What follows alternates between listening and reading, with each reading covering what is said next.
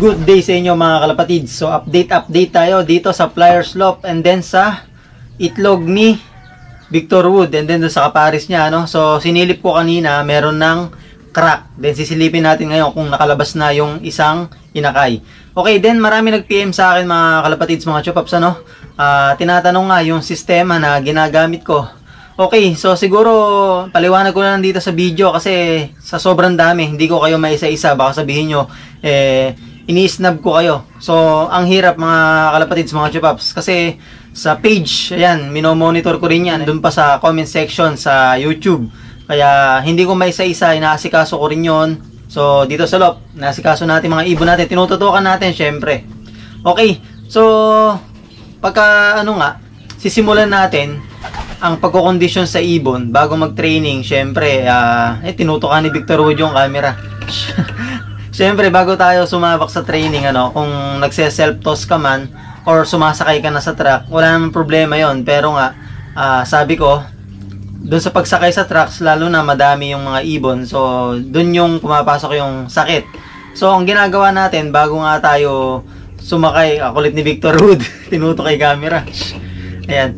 So, bago nga tayo mag-training, syempre, ano ba unang ginagawa natin? Nagpapaligo tayo ng mga kalapate.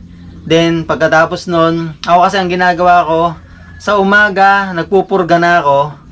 Then, sabay nun paligo. Kasi, pagka nagpurga ako, eh, yung gamot, yung mga color niya, so, sampyad-sampyad sa bibig, then sa balahibo, then sa lop.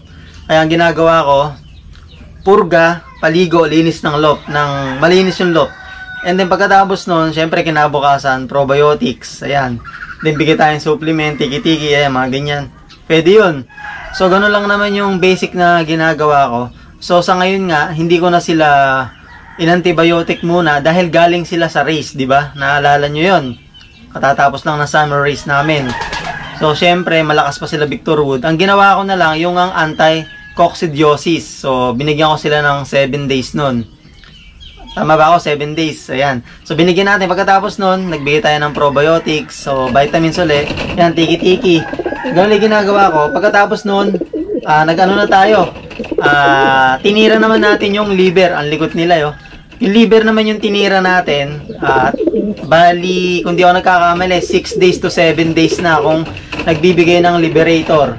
So, sabi ko nga, para yung mga toxin na nakukuha nila sa patuka, then sa vitamins, lalo na ang ginagamit ng ibang panser is yung pangtao.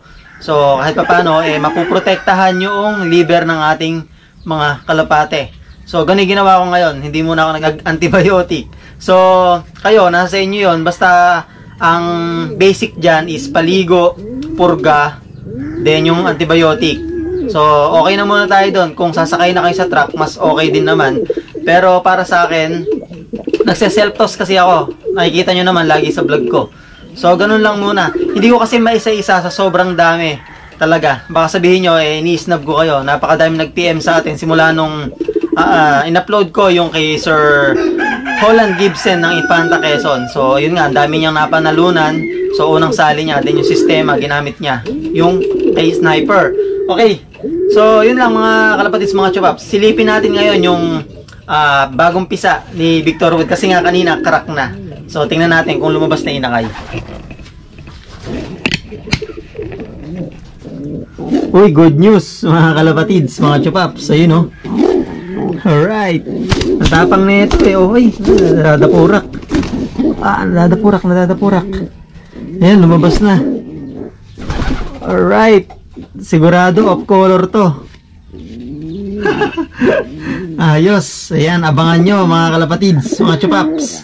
Ipaparapol natin yan. Dalawa yan. Sigurado. Yung isa bukas naman lalabas. Okay, ayan o. Oh. Then ipapakita ko sa inyo yung condition ngayon ng mga panlaban natin. Si Victor Road at si Professor. So, yun nga. Nag-announce na rin yung aming club, yung MMFC. So, alam ko ngayon o bukas yata yung training kabanatuan. So, hindi muna tayo sasakay dahil nga malapit lang. Alam naman natin eh natapos na ni Victor Wood at ni Professor yung race namin, itong summer race. So, yun nga, nakakuha na tayo ng premyo. So, second overall siya sa off-color category. Then, super set winner, pulling winner, pulling winner, and then malayo siya sa overall naman. Kumbaga, ano siya, 28 overall. Pero nung sa second tayo bumawi, sa second overall of color category. So, kunin natin sila Victor Wood na makita nyo yung condition. So, tingin ko kasi sa kanila, eh, pwede na naman isabak sa training. Dahil nagawa ko yung mga dapat gawin bago natin isampa o mag-self-training. Then, yung katawan ngayon ni Victor Wood, mga chupaps, eh, sobrang ganda. Meron siyang muscle. Kasi nga, di ba, parang sa tao lang yan eh. Pag nag-gym ka, and then, uh, huminto ka, then kumain ka ng masasarap, So, magkakamasel ka. Ganun lang din sa Kalapate. So, ang layo ng mga nilipad nila, nasa 200 plus kilometers. So, syempre, magkakamasel yung mga ibon natin. Ayun no, ready ready na naman si Victor Wood. Ang ganda ng katawan, buong buo. Ayan no. Then, nagpupulbos yung pakpak. Kaso nga, nagbaksak siya eh. Pero, kaya to ni Victor Wood. Yan. So, balahibo, okay. Nakapagpaligo nga tayo nung nakaraang araw. Ganda. Sabak na sabak na naman to sa derby, mga chupaps. Yung kondisyon niya ngayon is pang derby na. Ang ganda. Isasali natin. So, sana nga, eh, wag siyang madisgrasya o mawala. Dahil, wala na tayong line ng sa side ng tatay niya. So, yung nanay niya nasa akin pa, nakabreed ngayon. Ayan. So, kunin naman natin ngayon si Professor.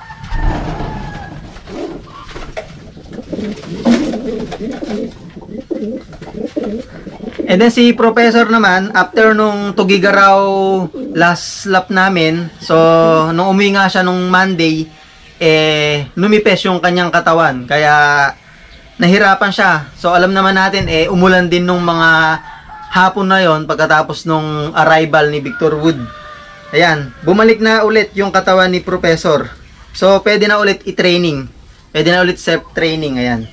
So kung makikita nyo, napakakinis balik na balik na kasi ay ang tagal na nating ano eh, nabakanti ulit sila. Then, yun nga, na anti-coccidiosis natin, napakain natin ng tama, malinis na tubig. So, yun lang naman yung mga basic eh.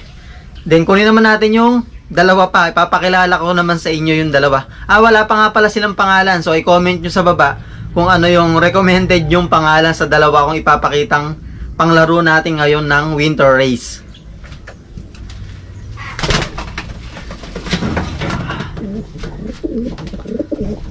So ito yung ano, yung magkapares na nag-itlog noon. Actually, nag-itlog na naman sila kahapon. So tinapon ko na leeg kasi maliit pa din eh. Then ayoko munang ano, uh, paitlogin ng hindi pa nasa race. Gusto ko pagka umitlog sila, yung nasa lap na para mas ganado.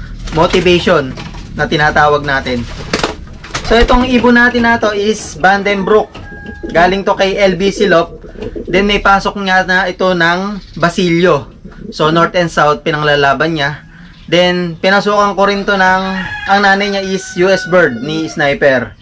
So, hindi ganun kalakihan yung katawan. Uh, ano lang siya, kumbaga, yung tinatawag na apple body. Ganun lang yung katawan niya.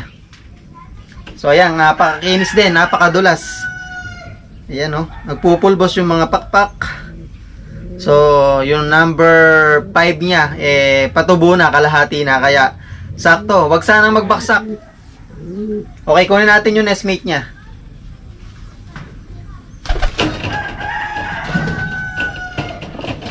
Then yung nestmate niya ito, same size, apple body kung tawagin nga. Then na-training natin sila lagi doon uh, sa breaking point ko is yung bungabon nga. So nagka-muscle na rin. So ayan. Makikita nyo yo. Ang ganda. Ito apple body talaga. Yung kasing kak medyo bangkain. So ito, malamang iitlog pa ito bukas ng isa pa. Dahil kahapon umitlog ng isa, then bukas yung kasunod nun. So masasabi ko mga kalapatids, mga chupaps, eh handa na yung apat natin na panglaro ngayong uh, coming winter race namin. So mamimili na lang ako kung saan club ko sila isasali.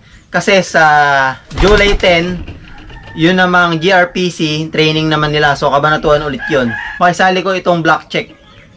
So, si Victor Wood doon na lang sa Sealer PC kasi young bird siya doon. Then, itong black check is uh, ah, TPFC to eh. So, open race naman yung MMFC. Kaya young bird pa rin siya doon. Okay? So, yun nga mga kalapatids, ano, bago nga tayo mag-training or mag-self-training, so, paligo, purga, antibiotic. So, alam nyo na yun, basic lang yun mga kalapatids, mga chupaps. So, sabi ko nga, sa sobrang dami, eh, hindi ko kayo maisa-isa. Ang dami nyo talaga mga kalapatids, mga chupaps. Baka isipin nyo is, uh, isnabero ko. Hindi. Sobrang dami. Hindi lang naman pag-FB ang ginagawa ko. Hindi lang naman puro message nyo ang tinitingnan ko. Siyempre, meron din akong pamilya. Meron din akong inaalagaan dito. May breeders pa ako. So, pagka tinuon ko sa inyo lahat ng time ko, eh mawawala naman na akong time dito sa mga ibong ko. Then, sa mga breeders ko. Kaya yun lang, uh, ano lang, common sense lang mga kalapatids, mga chupaps.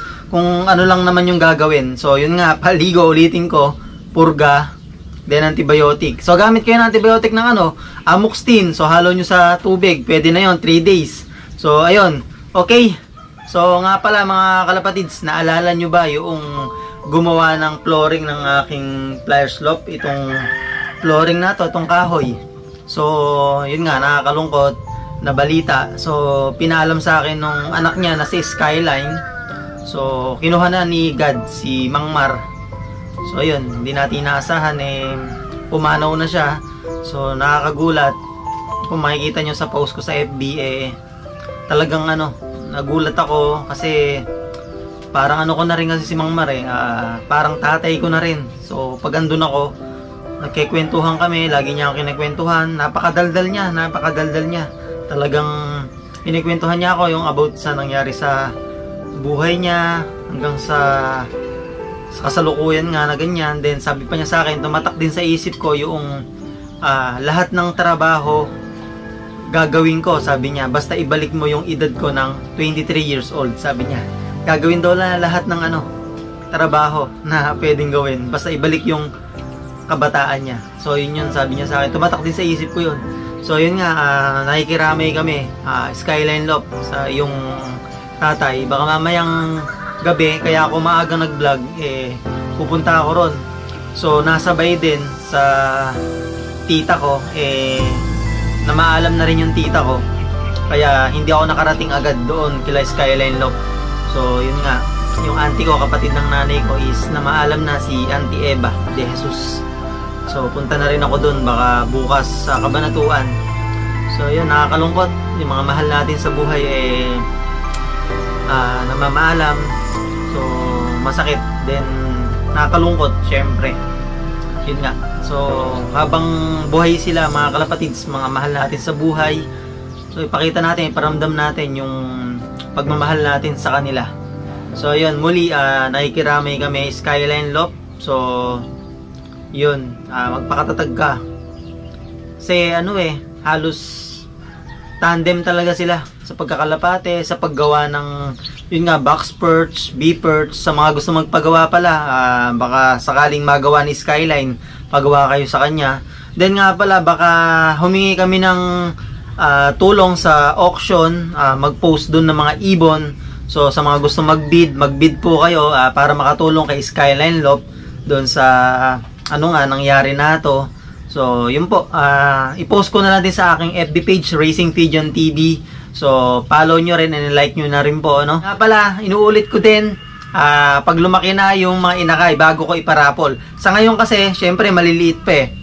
Kaya hindi pa tayo sigurado na baka mamatay. O, syempre, gusto ko, pag ipinarapol ko, eh yung may pakpak na para naman ganahan kayo. So, yun nga. Good luck sa mananalo. Dalawa yon anak ni Victor Wood mismo. Alam nyo naman, nakita nyo, nasaksihan nyo. So, ayun, maraming maraming salamat sa pagsama mga kalapatids. So, pakisubscribe na lang mga kalapatids ng aking channel kasi yung iba hindi pa nakasubscribe. Pindutin nyo na rin notification bell para ma-update kayo sa mga video kong ilalabas. Maraming maraming salamat. Mag-iingat tayong lahat mga kalapatids.